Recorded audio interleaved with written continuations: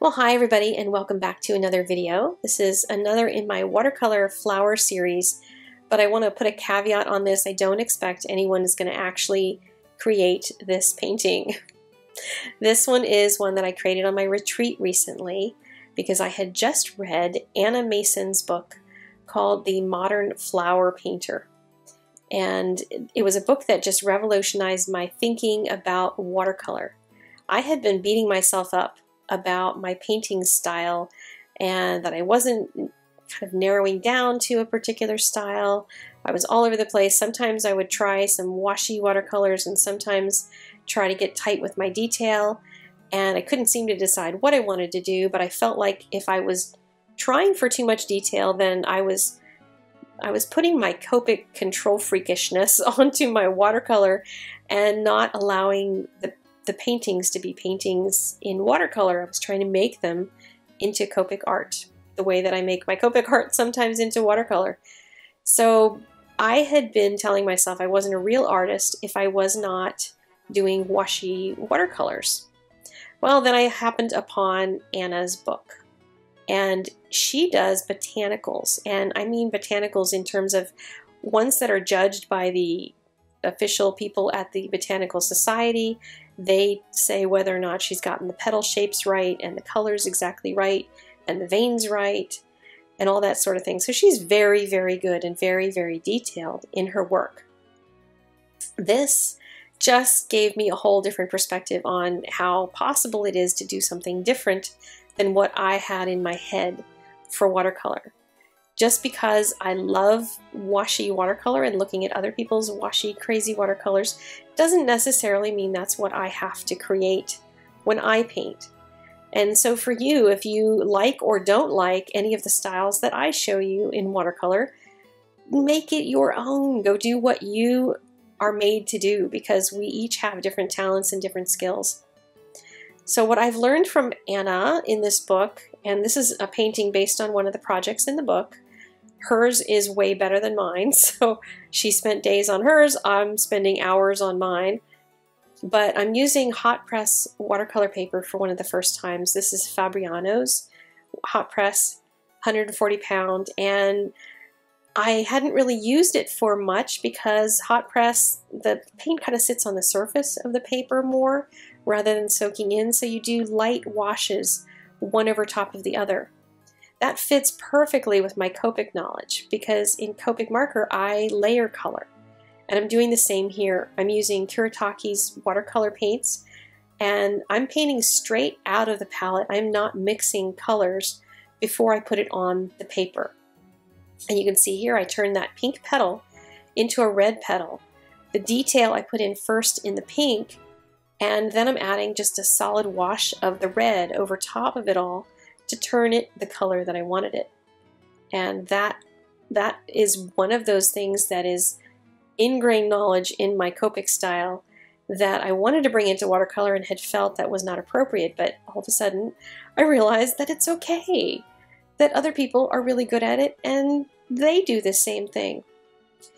So I started adding some of that purple detail in my petal and it was bleeding because the paper was still very wet. So while it's drying, I'll treat you to seeing a little bit of that flower center. And again, I'm not doing the kind of detail that, that she did in hers in the book, but I am adding a little bit more roundness to that center section by working in the shadows. I can do a wash over the whole thing, but I wanted to allow some of those, those highlight spots to retain their lightness and just put the shading transitions into the shadows. So I'm starting by using a darker brown for some of them, and then I'm filling in the others with a lighter brown. That's going to give it an overall roundness to the shape of that inner part of the flower. And then I'm going to add a little more detail too in the, the, the little portion around that, the portion that surrounds it. I don't know all the proper flower names, but I'm going to add more detail to that. But I thought I would talk a little bit more about my conversation with Anna and her about her book I emailed her and asked her if I could use some of her terminology going forward as I teach and that sort of thing because in her book she talks about a variety of ways to, to discuss mixing a certain amount of water with a certain amount of paint. So a lot of people are asking me, well, how much water do you have in your brush when you do that? How much water do you have on your brush versus how much paint? What's the proportion? And it's not a science. Remember, this is art.